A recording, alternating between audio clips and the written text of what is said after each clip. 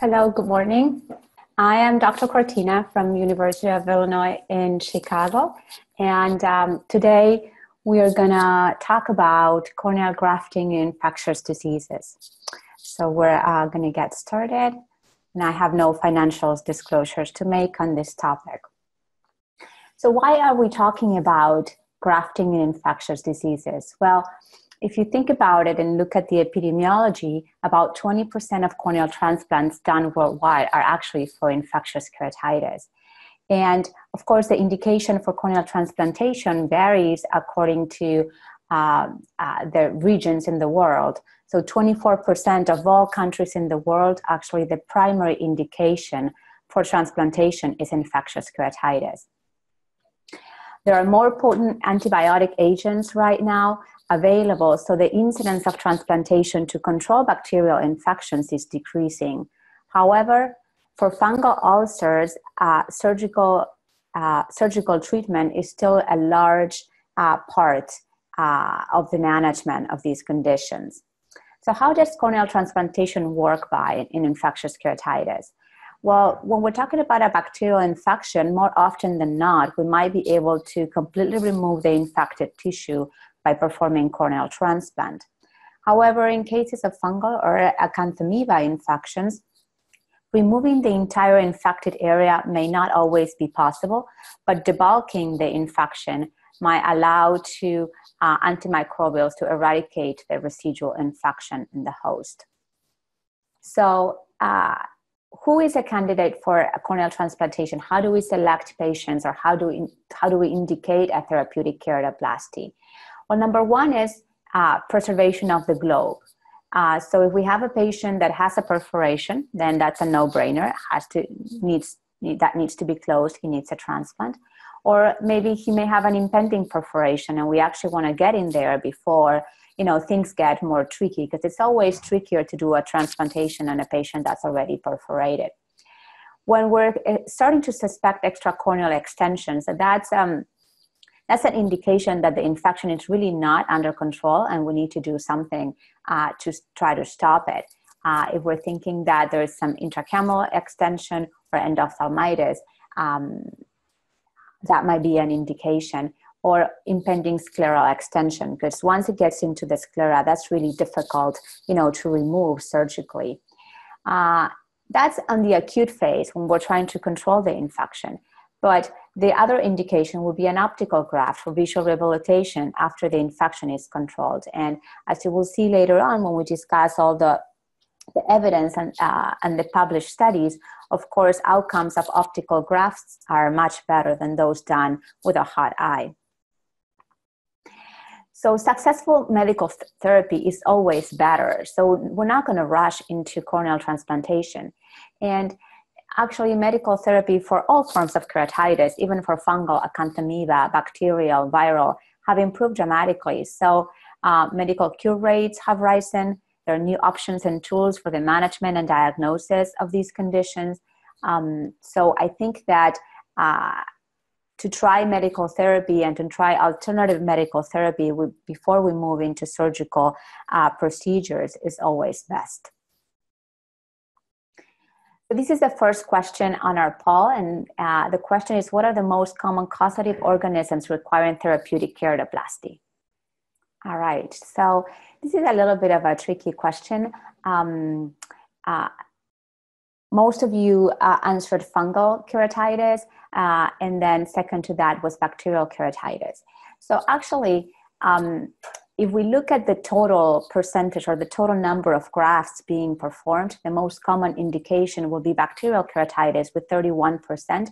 And that's actually because bacterial keratitis is much more common than the other forms of keratitis. But if we look at the rate in all bacterial keratitis and all fungal keratitis, so obviously more, more fungal keratitis might require uh, transplantation in percentage. So we have 31% for bacterial keratitis. Uh, um, mainly being Pseudomonas uh, because of the virulence and coag negative staph. Uh, secondly, we have fungal keratitis with, with aspergillus being the uh, highest um, the highest organism requiring keratoplasty. Uh, mixed uh, mixed ulcers, bacterial and fungal, are 6.9%. viral are 5.3 and acanthamoeba is 1.6 and i think this just relates with the rarity of the acanthamoeba infection not necessarily that uh, patients with acanthamoeba rarely require grafts non-invasive surgical treatments are to be thought so conjunctival flap, although that is a surgical treatment, in essence, it's a not penetrating treatment, and that could be considered in some cases. Tarsorrhaphies, collagen cross-linking. Um, you know, there are even uh, studies showing uh, argon laser trying to uh, break up the biofilm of the ulcers to let the um, antibiotics uh, or the antimicrobials penetrate better, and cyanoacrylate glue on those that uh, may progress to perforation. But uh, always remember that bacterial infections can still progress under glue. And in, a, in a study performed uh, by Sharma et al. in India, uh, they found that out of 506 eyes, actually close to 90%, uh, they, they had close to 90% success in restoration of tectonic integrity when ulcers perforated. So let's talk a little bit about therapeutic keratoplasty in bacterial infections. So like I said before, Pseudomonas aeruginosa is probably the, um, uh, the organism most likely, uh, most likely um, associated with the need of a, a keratoplasty. Uh, it may produce collagenase with corneal, uh, rapid corneal thinning and can progress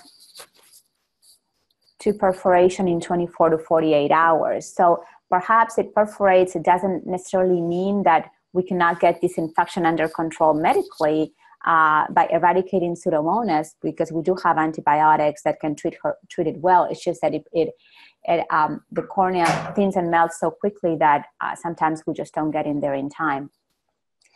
And then the other one is crystalline infectious keratitis that can be associated to candida or alpha hemolytic strep. And in fact, 50% of these uh, types of keratitis fail medical treatment, and the reason is it's so deep in the stroma that it's hard to get to it.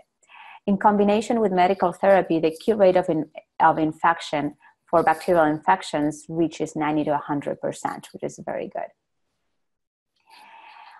How, how to decide what graft to do, which technique? Should we do a lamellar or should we do a penetrating graft? So in this study, uh, published in Ophthalmology in 2009, we saw 126 eyes undergoing therapeutic keratoplasty. There were 26 therapeutic DALKs versus 100 therapeutic PKPs. We saw that the recurrence in the DALK group was slightly higher at 15.3 compared to 12% in the penetrating keratoplasty group. And um, we saw that 9 out of the 12 uh, therapeutic PKPs actually required evisceration uh, the infection was that bad. Uh, of the therapeutic DALKs, uh, we saw that they had better graft survival and better vision overall. So slightly higher recurrence, but overall long-term outcomes with the with the DALK. So if the infection is not as deep, perhaps this is the way to go. Fungal keratitis. What are the things to consider when we're thinking about uh, the need of a therapeutic keratoplasty? Well, think that perforation is common in these ulcers in up to 50% of cases. Um, we're going to think about penetrating keratoplasty or, or, a keratoplasty when there's lack of response to medical treatment. Uh, we do for sure want to do very intensive antifungal therapy prior to, uh, to penetrating keratoplasty because these will help stabilize the cornea and will improve the uh, long-term prognosis. Remember, fungal elements can actually penetrate through Descemet's membrane. So I think that in fungal keratitis, one would opt more towards a therapeutic keratoplasty than a, a lamellar keratoplasty because there might be some higher recurrence in lamellar grafts. Um, Pollack showed that PKP was actually far superior than lamellar keratoplasty. There is another large Chinese study that looked at 604 therapeutic PKs uh, or keratoplasties for all causative organisms, they obtained 95% globe preservation, but they had a recurrence of 3.5% in penetrating grafts and higher recurrence, 7.3%, almost double for lamellar grafts. So think that therapeutic keratoplasty is not always curative. So the organism may come back, the infection may recur, In fact, fungal keratitis can have a recurrence rate in some studies. You know, the one that we looked at before um, had a lower recurrence rate, but the one uh, from Donald Tanat from Singapore showed a 47% or higher recurrence rate. Uh, these looked at 92 consecutive grafts, 15% experienced recurrences. I mean, 15 of the eyes experienced recurrences, 11 out of those 15 were fungal infections, and most went on to evisceration. So, if the fungus uh, recurs in the graft, that's usually not a good sign. Risk factors of recurrence were sclera extension and perforation. So this is our second poll question, which is not a predictor of need of therapeutic keratoplasty in severe fungal keratitis. Great, so I think most of you chose visual acuity and that's absolutely right. If we go to the next slide, uh, I think this is an important study. It was just published in JAMA in, um, in 2017. It was also uh, coming out from the Singapore registry. And um, what it basically showed, they, you know, they defined high risk features at baseline uh, as an infiltrate that was um, bigger than 6.6 millimeters, that it was involving the posterior one third of the stroma, and that had a hypopyon. So those were considered high risk features for uh, perforation or for, or for the need of therapeutic keratoplasty when they did the multivariate analysis on patients with um, uh, on, pa- on, patients with low with um, uh, with fungal keratitis, what they found was that the depth of the infiltrate, the size of the infiltrate, and the presence of the hypopyon, all of that was statistically significantly associated with uh, the need of a therapeutic keratoplasty or progression to perforation. However, visual acuity and the other um, the other factor that they looked at was agricultural occupation. They did not find to be related. Um, so the, the, uh, the, these, you know, all of these patients came out from the mycotic ulcer treatment trial too, and um, and so high risk patients were considered again, you know, those with a larger infiltrate, more than six millimeters, posterior involvement, and hypopyon, and the low risk uh, low risk uh, patients were those, you know, all of the other patients in this same trial that did not have these characteristics. So remember, infiltrate depth, uh, infiltrate size, and hypopyon, uh, high risk features.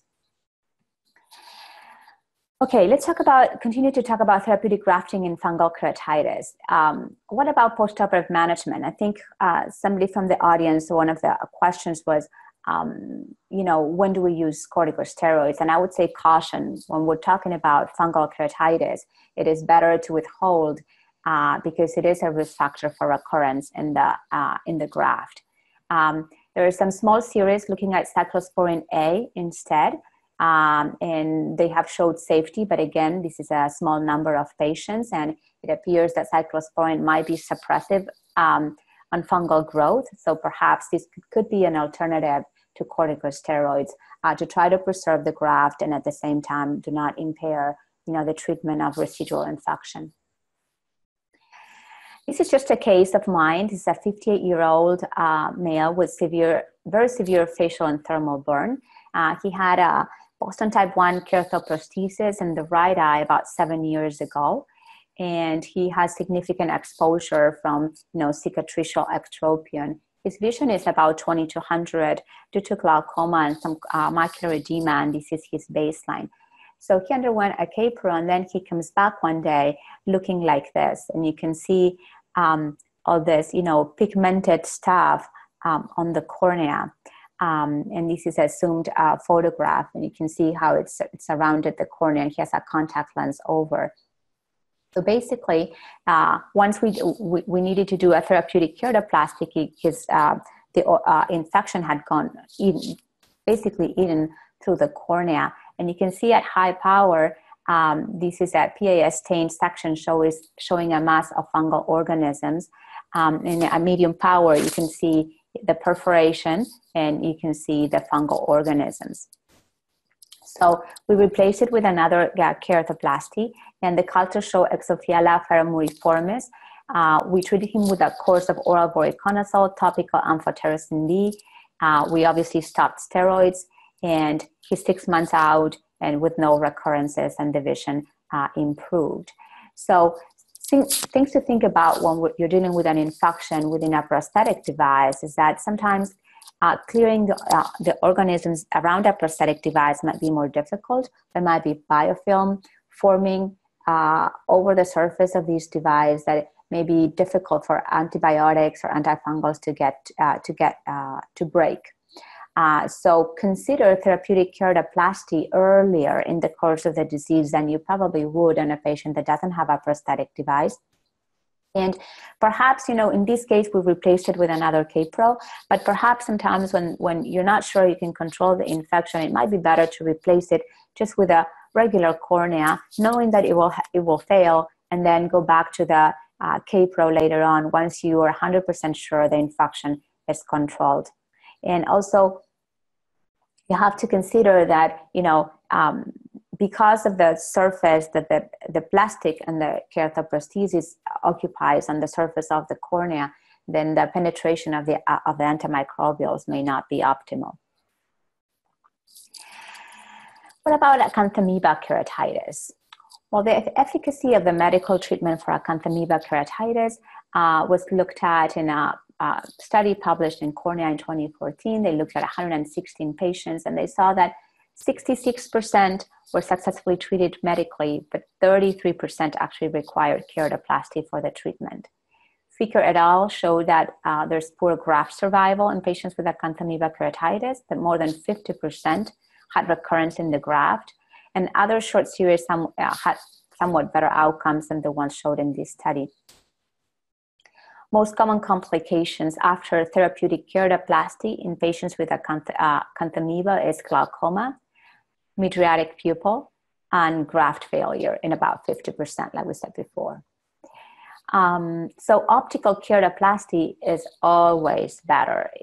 If we can wait, if we can control the infection medically, this will always be the better outcome.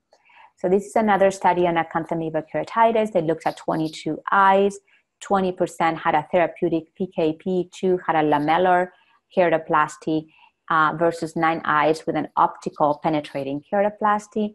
We saw that the recurrences were 41% in the therapeutic keratoplasty, but interestingly, it was 22% of recurrence in the optical keratoplasty. So when we thought that perhaps the infection was controlled, was eradicated, we did the optical keratoplasty, and still in acanthamoeba, that we saw recurrences up to 22%.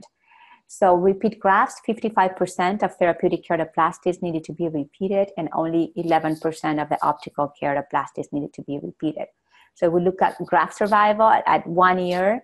Uh, always the optical is better. When we go out to 10 years, again, you know, about double the success rate for the optical uh, keratoplasty compared to the therapeutic one.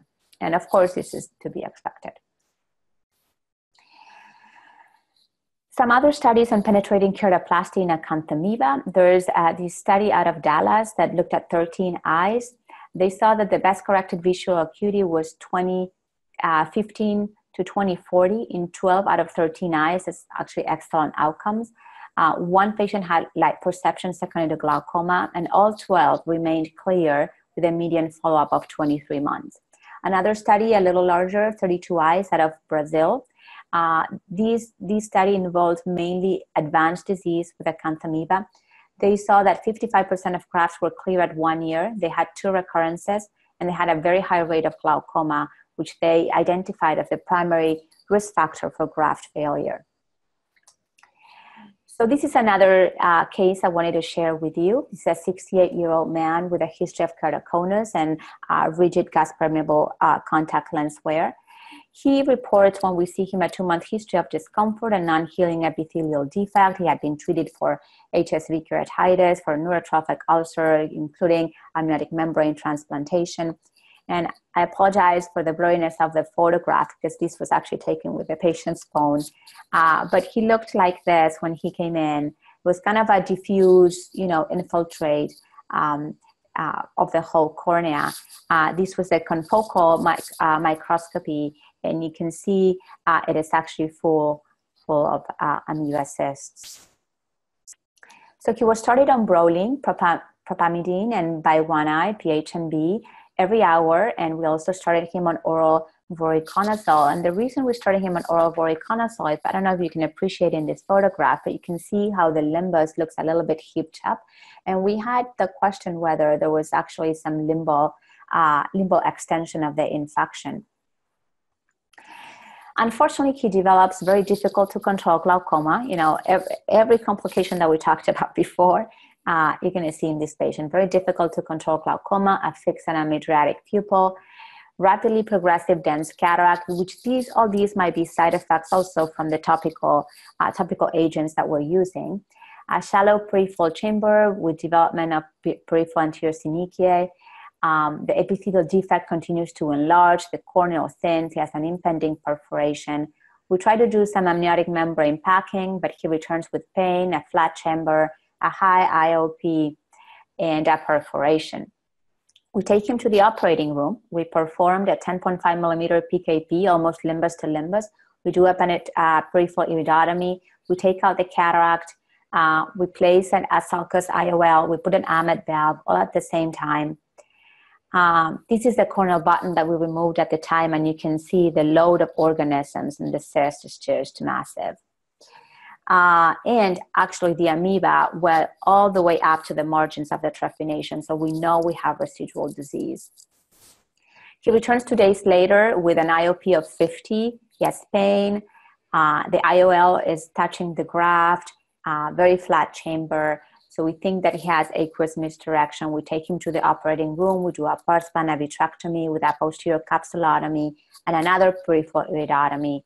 And uh, he does well after that, but we had to do add one month course of miltefosine. This is a new drug. Um, I think there are some studies coming out, which this patient is actually a part of, uh, looking at, you know, uh, refractive cases of acanthamoeba keratitis using this drug. He used this for two months plus uh, the, I'm sorry, he, used this for one month plus uh, a two month course of top, topical PHMB, and B. And the graft has been clear so far uh, with no recurrences. So this was an extreme case, very advanced case of acanthamoeba keratitis with a good outcome. Now this is only six months after we did this graft. What would be his one year, five year, ten year survival? Probably not great. Optical keratoplasty for acanthamoeba keratitis. This is another case. He's a truck driver. Um, he presents with classic acanthamoeba signs. Um, eh, he responds well to medical treatment. We do an optical keratoplasty.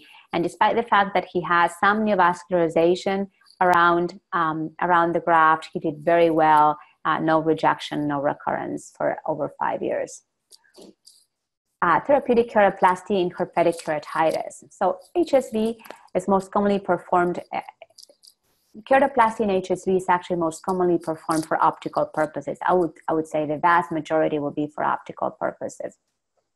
But there are some cases of active stromal disease that have significant ulceration or perforation, and maybe removing the antigenic material causing repeat immunologic episodes might be uh, worthwhile. It does require oral acyclovir therapy and topical steroids.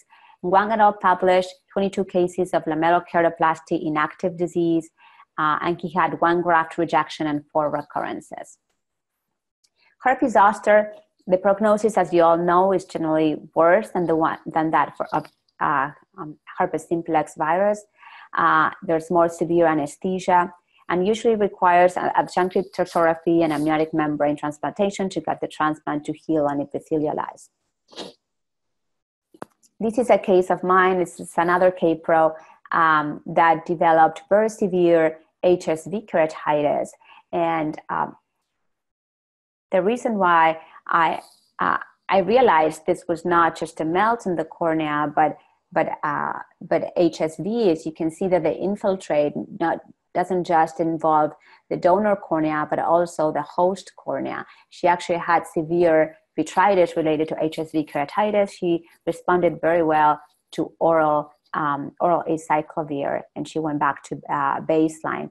I think you know after uh, almost thinking we were going to have to do a therapeutic keratoplasty in her medical therapy was eventually successful, and she ended up with a very thin cornea that held, and we didn't have to replace it.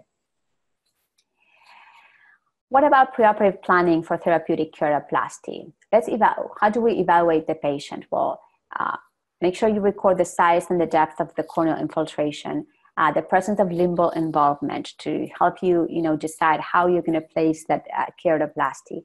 Uh, whether there's corneal perforation or not, whether there's associated endophthalmitis or glaucoma, and you need to do something about that during the surgery. Try to do a dilated fundus examination. If there's no view, make sure you do an ultrasonography to rule out the presence of vitritis. Systemic and topical antimicrobial treatment.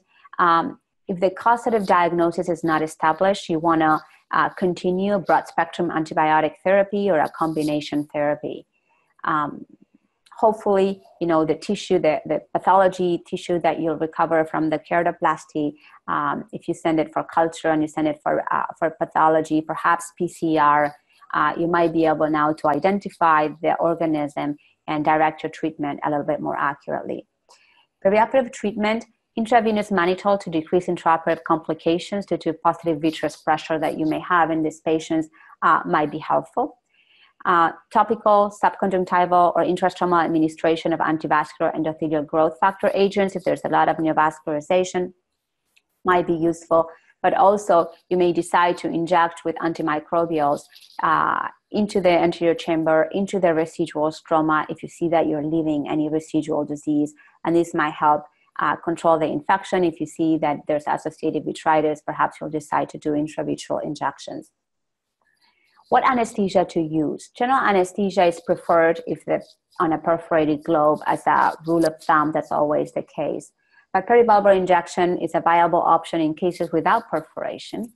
It is really important to try to have, um, you know, to have to try to have a soft eye that is not moving and where the anesthesia is well achieved. However, there might be patients that are not candidates for general anesthesia, and Ritter et al. published topical anesthesia in eight cooperative patients with perforated corneal ulcers and associated com- systemic comorbidities. So while I don't advise this approach, it can be done in extreme cases. What about the donor material? What kind of tissue should we order or should we, should we take? Um, well, you want good quality donor tissue. Uh, a healthy donor endothelium will help you maintain a clear graft despite the associated inflammation and the intraocular pressure. So, will give you better chances of success. And an intact epithelium, I think this is important because it minimizes the risk of graft reinfection. So it's not that often that we get corneas where with intact epithelium, but if you have one, I think that this will be better. What if you don't have readily available fresh tissue? We could use non-optical grade cryopreserved corneal tissue. These are corneas that are devoid of live cells. Um, the chances of an allograft rejection are minimal because the antigens are minimized by the absence of cells, so there's no need for steroid use. Uh, once the infection is resolved, then you can go in and do a smaller, di- a smaller diameter optical keratoplasty and, um, and rehabilitate the patient visually. So again, corneal tissue is scarce in many parts of the world. Uh, there's a limited supply of transplantable corneas for DALK or PKP. So they use there's a study uh, published in Cornea in 2006 that looked at the use of preserved tissue. They used 22 grafts, glycerol preserved. They used uh, 16 of the 22 grafts were for fungal infections. Complications that they found were glaucoma, 50%, wound leakage, 32%, recurrence, 68%, enucleation or evisceration, uh, or eyes going to enucleation or evisceration, 9 out of 22, so 40%. So a, a a high number. And the final visual acuity uh, uh, of the 13 out of 22 eyes was 162 LP. sequential what about if we do sequential cryopreserved tissue versus, uh, versus optical grade tissue? So 10 eyes received cryopreserved tissue followed shortly in 17 days by an optical grade tissue. 22 eyes which received optical grade tissue alone. The therapeutic success was 10 out, of 10 of the sequential grafts were successful, and 13 out of 22 of the optical grade tissue um, were successful. In one year survival, we saw 72 or 73% of the sequential uh, versus 53.8% of the primary optical. So basically, we're using this cryopreserved tissue when when we have all this high inflammation. We're giving all these drops that can uh, be somewhat toxic. And then once the infection is resolved, shortly after we uh, we go to um, fresh cornea, and then that fresh cornea will have much higher rate of success than if we did it from the get-go. This is what this study, the bottom line of this study, which was done out of the Singapore group. What about the surgical technique and uh, some intra-op considerations? So think about support, maybe a Flieringa ring or whatever form of scleral support you like for your keratoplasties might be important. Avoid pressure on the globe in cases of perforation. Uh, and, and these uh, and, for this reason, think about what kind of speculum you're going to use. Sometimes the Lieberman can uh, put some pressure on the globe. Maybe you want to use a Schatz or a Jaffe or uh, a different type of uh, speculum to retract the eyelids, uh, perhaps even traction sutures. Uh, remove all infected tissue. As, as much as you can, try to remove all of the infected tissue, leaving about one millimeter rim of healthy tissue if possible. Even if you have to do an eccentric or large graft just try to remember that you're getting in there uh, on a hot eye to control the, the infection. Careful trephination. Glue sometimes can be useful if you have a perforation to try to pressurize the globe and, uh, and obtain a better trephination. But you can also use handheld trephines or you can freehand it sometimes. Take cultures, especially if you don't know what you're treating, but even if you do, it never hurts to take cultures.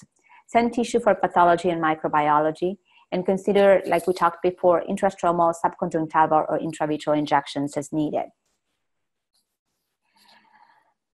Remember that less is more.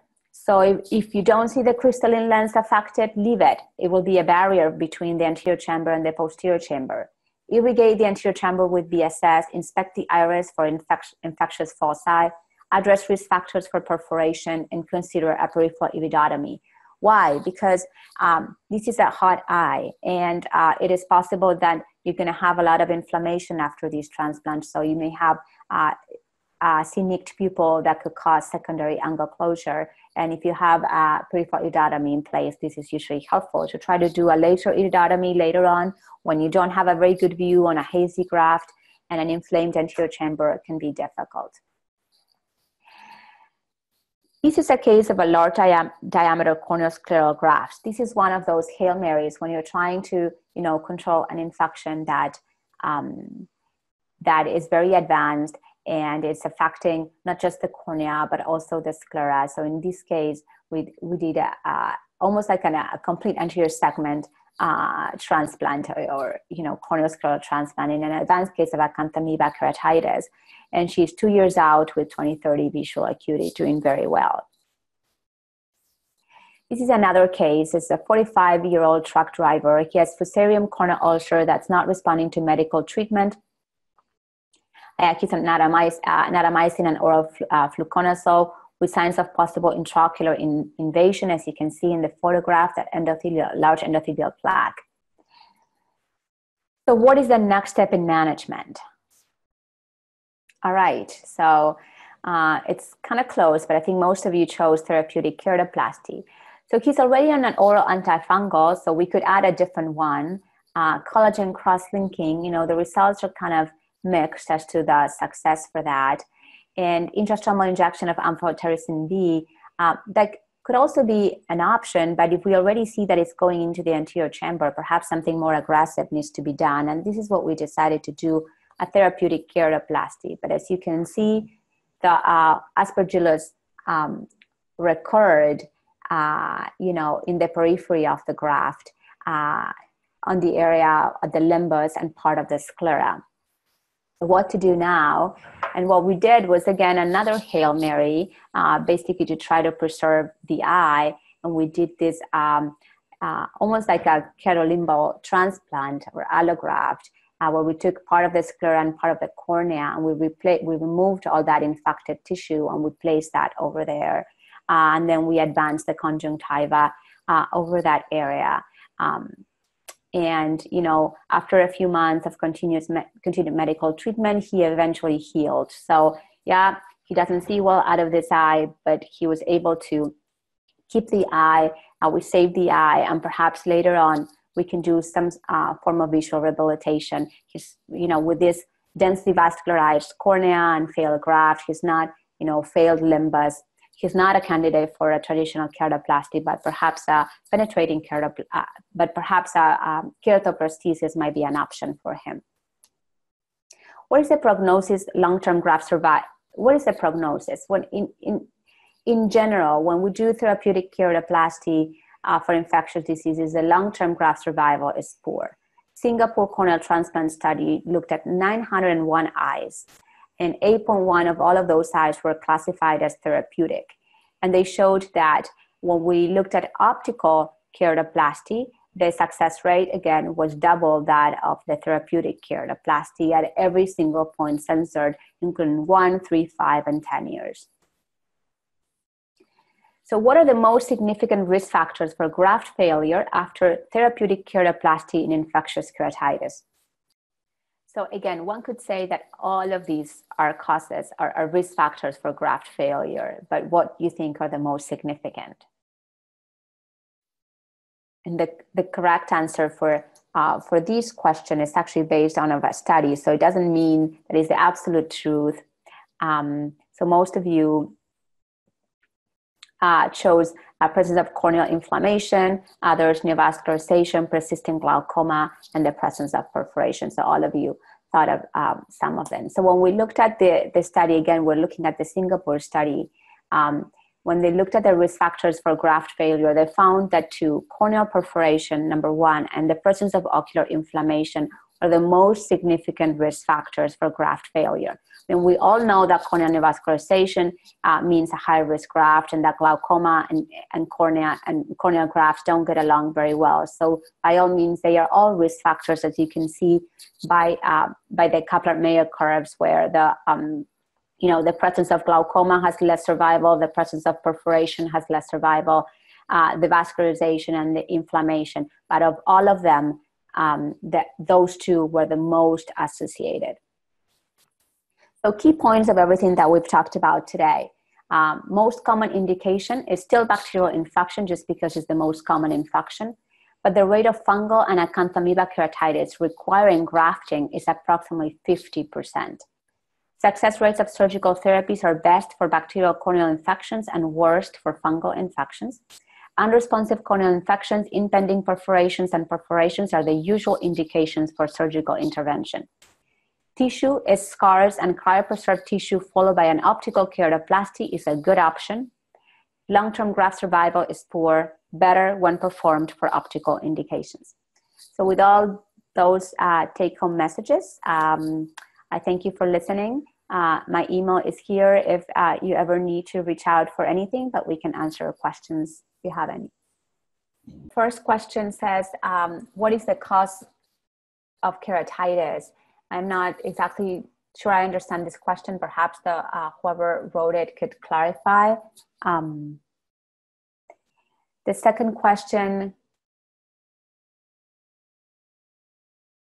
in which type of infectious keratitis penetrating keratoplasty is more successful? And the answer is in bacterial keratitis.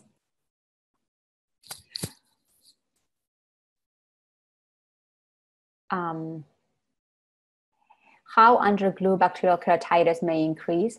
So uh, we use the glue to to perhaps you know uh, prevent a perforation or to treat a small perforation, but it doesn't necessarily treat the infection. And under the glue, where the uh, antibiotic might might not be penetrating, the uh, infection may progress. That's what I meant when I mentioned that what methods of suturing, interrupted or running? I would say always uh, interrupted because um, these, you know, there's inflammation, there's going to be wound healing, and there, um, and and the sutures may loosen much sooner than on a regular graft. So having interrupted sutures will allow you to selectively, you know, remove some of them uh, versus just the running suture. Uh, perhaps where you're dealing with vascularization and things like that uh, you know, I think an interrupted suture may allow you uh, to revise the wound if you have to in some areas. I think that is the better technique for these, uh, these circumstances. for corneal scleral grafts, is the scleral portion partial thickness? Yes. So if you can thin it out, uh, that's usually better. You can, you know, remove, do, do a sclerectomy on the host, uh, remove, you know, uh, partial sclera, and then try to thin out the donor sclera, and then uh, you can uh, suture them together. And I think that works best, almost like you're shelving them. Do prophylactic uh, peripheral iridotomy sometimes increase infection?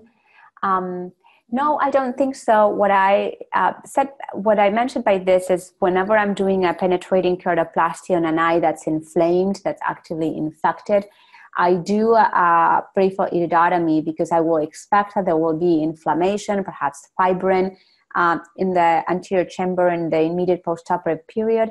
And having this penetra- uh, iridotomy uh, decreases the chance of having, um, you know, uh, angle closure and pupillary block after surgery. My question how long we should wait before deciding for therapeutic keratoplasty i think this is a great question because timing is everything. Um, you know you don't want to do it too soon. You want to allow the um, antimicrobials to work because like we said we can control an infection medically that's always better. But if you wait too long, you may have lose, lost that window of opportunity where the uh, keratoplasty could have taken care of the situation by removing most uh, or all of the infection. And then if you let it advance to sclera or, you know, uh, go into endophthalmitis and perhaps it's too late and the success won't, won't be as good. Uh, so timing is everything. So if you have an infection where you tried the antimicrobials, didn't work, you switch to whatever alternative there are, and it's still not working and you're seeing it progressing or you're starting to see uh, you know the potential for uh, extracorneal extension then by all means i think that's the time to go ahead and do the keratoplasty. The next question is what if in the few days post therapeutic keratoplasty you have a suture infiltrate? Would you remove the suture with a risk of leaking? Um, the answer is yes. I think i would remove the suture uh, if I have to replace a suture, then you can replace the suture. That's why I think interrupted sutures are much better because oftentimes you can remove just one suture and not have a leak. Next question Where do you obtain pH and Brolene from? Uh, is it compounded? Um, yes, our, our, our, pharmacy uh, compounds the PHMB and B and the Brolene we obtain from Europe. Um, next question How does the outcome of collagen cross linking compare to therapeutic PK in bacterial keratitis? Um, I don't think I have an evidence based um, answer to this question. I don't think there are studies com- uh, comparing penetrating keratoplasty to cross linking directly. Um, I do think that the uh, studies uh, done for cross linking and advanced bacterial keratitis are um, um, you know some of are, smaller you know smaller number of patients. Uh, the other thing is i think that collagen cross-linking perhaps in the future might have a bigger impact in early ulcers than it does in advanced ulcers uh, where penetrating keratoplasty is always more for advanced ulcers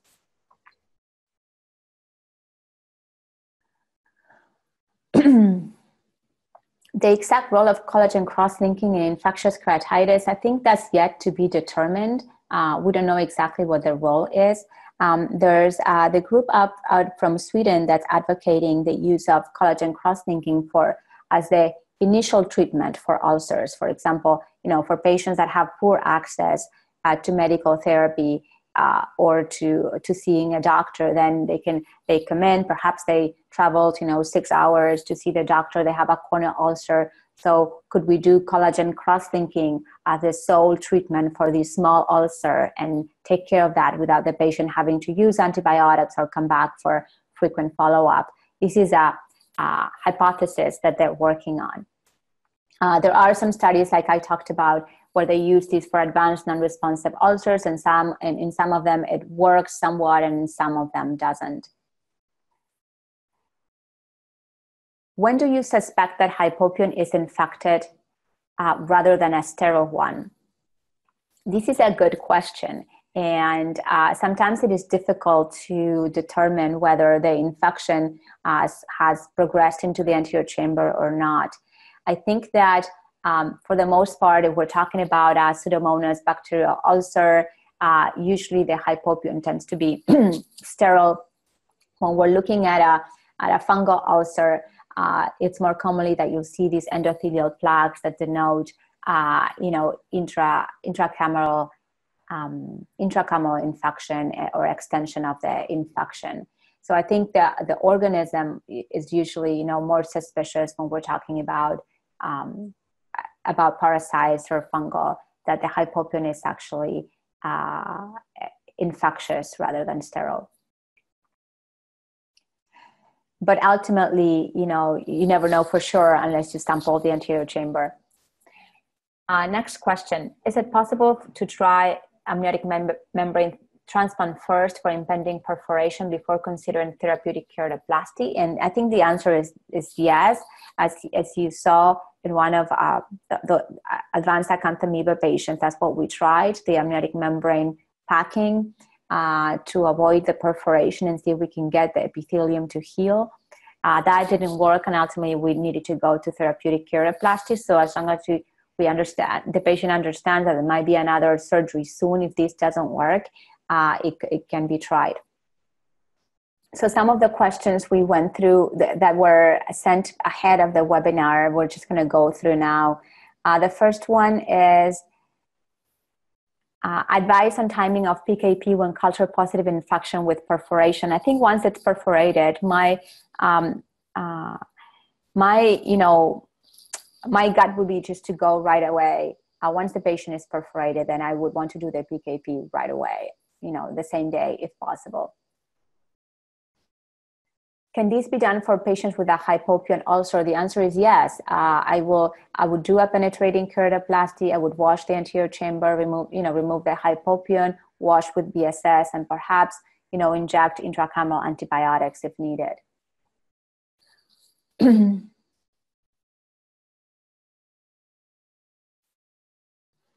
Uh, so how to prevent the infectious keratitis? That's a, a, difficult one. I think this one depends on uh, on the epidemiology of each country and what the causative, most common causative organisms are, and you know what kind of you know uh, public health measures can be taken to prevent infectious keratitis. Um, you know, in in some cases, for example, here in the U.S., there were big uh, break uh, breakouts of infection with fusarium, for example, secondary to contact lens solutions. Uh, so you know, having a stricter um, a, a, stricter uh, organism, you know, to approve uh, these type of solutions for contact lenses might be a good idea. Um, but I think it's different for each country. The uh, next question is In case the graft gets reinfected with the same organism, when would you decide to take up for re-PK. So again, I mean, the graft may get reinfected, and in this infection, we might be able to manage medically. But I think I would have a low threshold to go back and repeat the graft if the infection continues to uh, to be not controlled. Is there any contraindication in infectious keratitis? I assume that this is. Is there any contraindication to keratoplasty in infectious keratitis? And I would say no i mean you have an infection that is not controlled. So um, you want to uh, you know you, you want to try to uh, control it. And the alternative will be that the patient loses the eye because the infection continues to progress. Um, so i would say no. If we're talking about an optical uh, keratoplasty uh, you know the, the traditional teaching is that a cornea that has poor corneal sensation is a poor candidate for a penetrating keratoplasty. A cornea that has um, you know high degree of vascularization that that like that patient that I showed you after the fusarium, you know those are very high risk for penetrating keratoplasty. And perhaps it is relatively contraindicated because we know that they will do very poorly, and perhaps we need to look at other options to rehabilitate them, like an artificial cornea. Um, is there any update treatment of infectious keratitis? I think there's plenty. Uh, I think more than I can cover just today in this webinar. Uh, but there are new medications. We talked a little bit about miltefosine for refractive acanthamoeba cases. Um, you know, there's the mycotic ulcer trial that looked at the uh, oral voriconazole, showing that uh, it is not necessarily effective for fungal keratitis and perhaps doesn't need to be used. Uh, that the most effective for um, aspergillus is actually natamycin. So all of this you can find uh, in some of the mycotic ulcer trials. I think that's that's a good review for the treatment of fungal keratitis.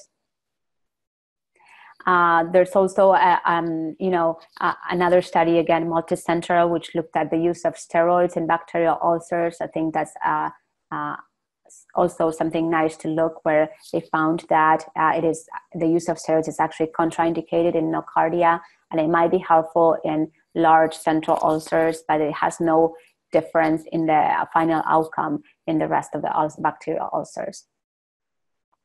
New treatments for uh, keratoplasty rejection. Uh, I mean, the traditional treatment is steroids. It's what it's what's going to act faster. Um, you can try to use, uh, you know, a, a, um, a, more potent steroids like um, uh, here in the United States, we use Durezol, it's difluronamide, um, and you can use that. Uh, and then alternative, you can use cyclosporin to prevent rejection, um, not necessarily to treat it. Uh, topical uh, cyclosporin 1%. And we have been used for uh, uh, rejections that are refractive to topical steroids. We, we have used tacrolimus, 0.3% topically uh, in drops compounded by our pharmacy, and we've had some success with that.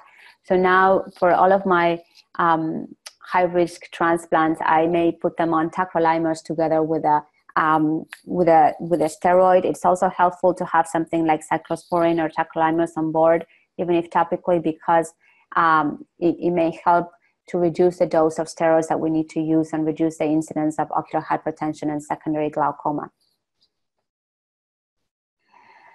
Next question, should anterior OCT per, be performed previously on all penetrating keratoplasties under, undergoing patient to minimize high order aberrations effect after surgery? Um, I think that when we're talking about a penetrating keratoplasty for infectious keratitis, not necessarily. Uh, I, I, don't think I performed OCT unless I want to see something on the anterior segment to help me with surgery, but not necessarily for higher order aberrations. What does pannus signify in a healing stage? I mean, vessels going into a wound are, are usually a, a sign that, they, that there's a lot of wound healing going on. Now, granted, we don't want you know vessels on our corneas. So uh, when we're starting to see um, you know neovascularization, perhaps we can consider some anti-VEGF therapy, either topical drops or subconjunctival injections, or an increase the dose of steroids. So, what is the modern treatment of fungal keratitis? I'm not sure how to answer that. I think that um, you know perhaps performing PCR for um, for early diagnosis of the causative agents is um, it's it's is the way to go, and and then you know using the newer antifungal agents like um, the azoles like posaconazole um, and um, caspofungin is another antifungal that we've been using. And like I said, um, you know, uh, just early diagnosis, I think that's key. What is the most common cause of keratitis? I think that's bacterial keratitis all around the world. Um, when and how to decide to do the therapeutic keratoplasty, I think we went over this. Uh, and I think it's when the ulcer is when the ulcer is perforated or it has impending perforation when there's a risk of uh, extracorneal extension uh, when and when the uh, infection is progressing and not responding to medical treatment. When do you start topical steroids post keratoplasty for fungal keratitis? Any role of systemic steroids? I think caution, caution, caution when you're using topical steroids post fungal keratitis. I would prefer that, you know, that the um, that the that the graft fails and we have to repeat it if, if we have to because they're rejected. But i don't want uh, you know the infection to go under control because of the use of steroids. So i think i would be very judicious in the use of steroids after fungal keratitis and the last one, I think we already talked about this. When should we go for therapeutic keratoplasty in cases of fungal keratitis? And I think is, you know, think about it early because we already know that 50% will need penetrating keratoplasty. So if you feel this ulcer is not going anywhere and it's enlarging, you know, get get in sooner before the, the infection gets too large and then you're not able to remove it with a keratoplasty.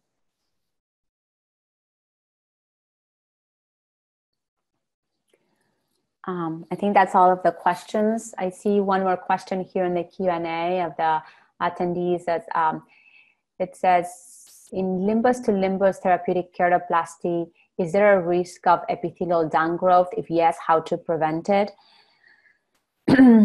I think that, um, I mean, there could be a risk. I haven't, you know, particularly encountered this complication very commonly after large grafts, uh, but I think having a, a good wound, you know, good a post wound um, with no leakage, with no gaping or anything like that is key. Uh, sometimes this is difficult in an active infection because you may be suturing on tissue that is not that healthy. But I think um, uh, trying to have a, a, a watertight wound is important.